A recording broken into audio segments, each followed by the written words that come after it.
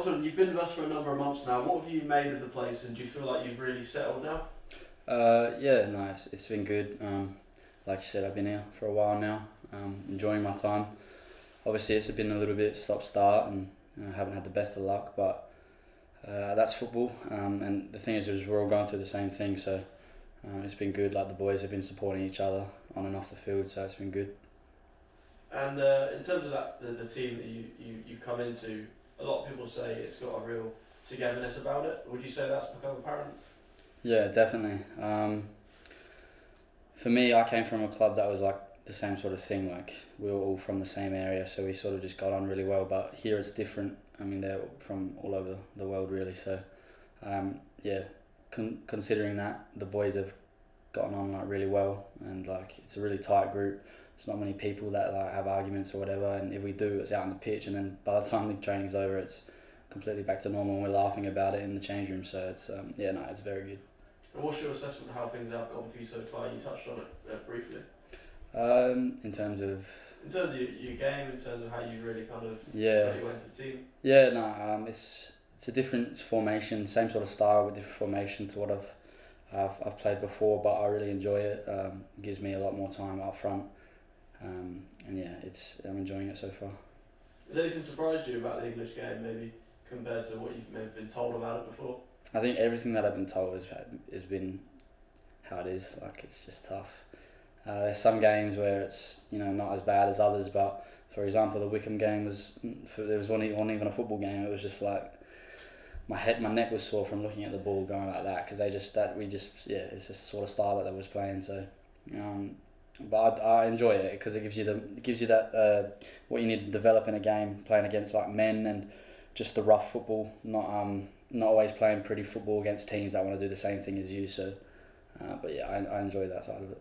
Have you seen improvements in your game from, from when you, you started here already? Yeah, definitely. Um, improvements and more like I've added added more onto my game. Like I said, playing against those sort of teams, you don't really get that as much in Australia. Like Australia is physical, but teams will still try to play football. Here it's just physical and just yeah, big beefy boys just trying to knock you around. So um, I've definitely gotten better at uh, dealing with that that side of it as well. So no, it's been good. Do you keep up to date with things at Adelaide and what's the communication with everyone back home? Yeah. Um, it's actually it actually works really well mostly when United are playing. Um, I get to just wake up at eight o'clock and they start at 8 AM and by the time the game's done, shower and I come to training. So it's been it's been really good. Um, and obviously, like I said, I'm mates with all the boys in that team, even through before football. So yeah, still keep in touch with them all the time, daily, daily talking to them about how things are going and stuff. Um, so yeah, it's been good. You obviously moving to London and trying to settle here. Has it been a bit more difficult with the lockdown and things? You can't really get out much.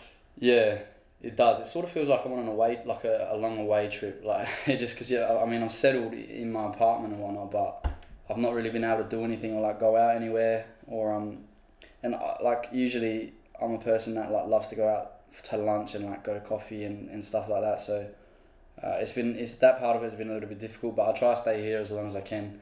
Uh, so then I'm not sat at home doing nothing. And the, the worst part about it as well, if I want to talk to friends, they're all back home. Everyone's in bed by like one o'clock here, so I don't really have much to do um, except like PlayStation and FIFA, but can't do that every day. So I'm no, I'm really looking forward to uh, like lockdown being over, so I can get out and because I haven't yeah I haven't really looked around either, so yeah I'm looking forward to that. I suppose it helps the importance of having that team togetherness then does it so you come here and you can yeah. you can be as normal as possible I guess yeah and of course I live with Gustav as well so um, at least I've got you know someone to, to talk with and, and, and whatnot but I, I don't know what I'd do if I was living on my own I'd definitely struggle but um, yeah it's not ideal for anyone or anyone really at the moment so I think yeah we all together we all know what we're going through so we just try to be there for each other as much as we can it's important to talk, isn't it? I guess with yeah. those sorts of things. It's obviously yeah. a tough time for everyone. It's important yeah. to keep communication up. Yeah, definitely. Well, that's like when we come to training, we're all excited because we get to see each other and like you know like talk and, and do all that. So um, it's much better, much better. Bit of singing as well for you. You've seen that yeah. on Instagram. Yeah, that's a bit of a pastime as well. Um, I don't mind it. Uh, yeah, sort of like an escape. I started playing uh, the guitar as well now. Um, but I just teach myself. I'm not I'm not the greatest, but yeah, I get by. Them in the dressing room. Yeah, a little bit, a little bit. They don't mind it, so some of them get behind it. So that's good. I just wanted to, to finally touch on already this season we've seen lots of boys kind of make, make their debuts in the first team. Is that kind of giving everybody a real boost in terms of you, you can see the pathway just there? Because you mentioned when you came in, the pathway is, is why you came in. Yeah, no, definitely. Yeah, well, that's that's what's on everyone's mind, obviously, and like, I don't think there's a player out there that wouldn't want to go play with the first team. That's why they're here. So, um, yeah, when you see players come down and like they're training with us, and you're like, oh, I'm not too far off, you know, like, just makes you want to work harder and get get that little bit of extra into you, so you can go up there and get your debut as well.